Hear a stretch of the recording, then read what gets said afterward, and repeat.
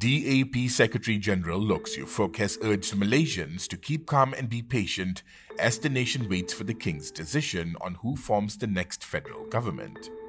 Loke said the process of forming the government was something new for Malaysia, but normal in a Westminster parliamentary democracy when no party or coalition wins a simple majority in an election. He said in a statement that DAP will always uphold the principles of the Rukun Negara and defend the federal constitution. Loke also urged all parties and DAP members to ensure harmony and public peace at all times. Yesterday, Pakatan Harapan chairman and PKR president Anwar Ibrahim confirmed that PH and BN were in negotiations to jointly form the federal government.